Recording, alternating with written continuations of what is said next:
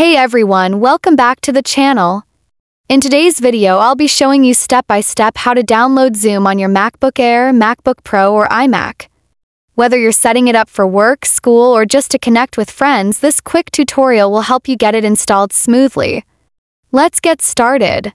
First, open Google Chrome on your Mac. In the search bar, type Zoom and hit enter. From the results, click on the official Zoom website. Make sure it's the one that says Zoom, my account at the top right.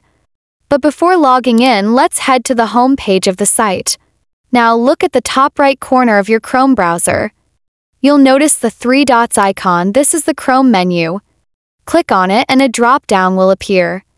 From this menu, hover over the option that says Cast, Save, or Install. Then tap on Install App. A small window will pop up asking you to confirm installation.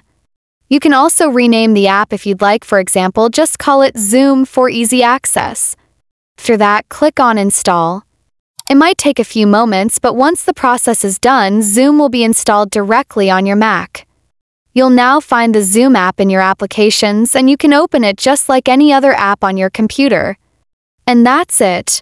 If this video helped you out, make sure to hit the like button, subscribe for more quick tutorials, and don't forget to turn on the notification bell so you never miss an update.